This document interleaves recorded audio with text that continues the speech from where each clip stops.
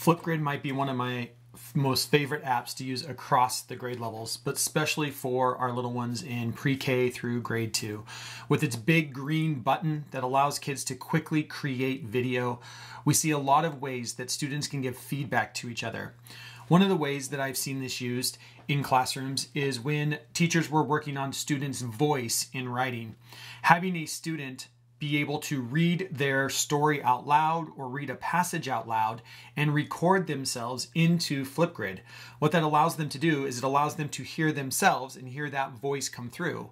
But at the same time, you can get feedback from your classmates because your classmates can now listen to you tell that story and record a video back to you talking about your pacing, talking about the way you use expression. It's just an incredible way to think about how do we bring video into the classroom? And how do we allow kids to give peer-to-peer feedback in video format? A format that for many in this generation speaks to them more than text.